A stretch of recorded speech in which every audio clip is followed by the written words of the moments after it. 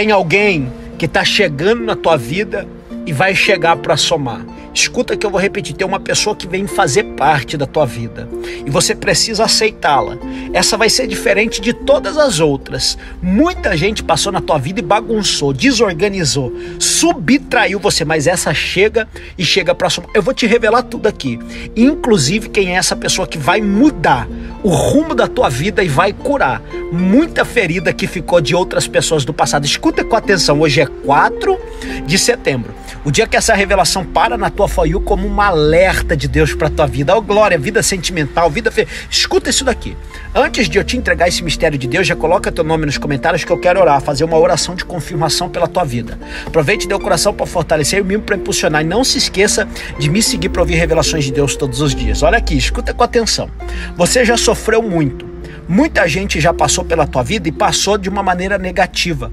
Te machucou, te traiu, te trocou. Olha, fez o que tinha que fazer e te deixou totalmente quebrada.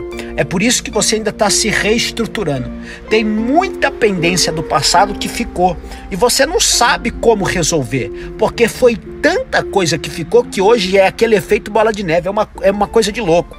Só que escuta, porque Deus está dizendo para mim que tem alguém chegando aí e vai chegar para mudar muita coisa na tua vida. Quer saber quem que é ele? Então coloca teu nome aqui que eu vou orar por você. É o amigo Espírito Santo. Papai está dizendo para mim que Espírito Santo de Deus vai fazer parte da tua vida.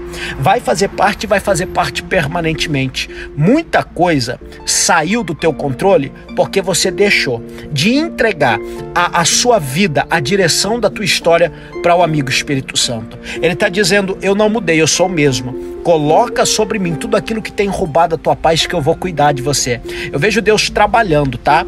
Eu vejo Deus organizando muita coisa.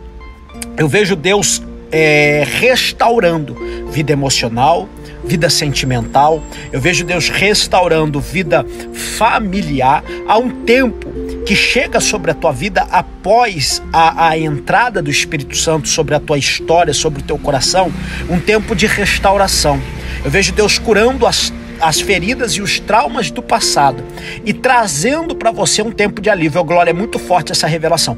Deus vai organizar Deus vai auxiliar, Deus vai reestruturar muita coisa, mas muita coisa que ficou para trás. E o nome do Senhor será glorificado sobre a tua vida.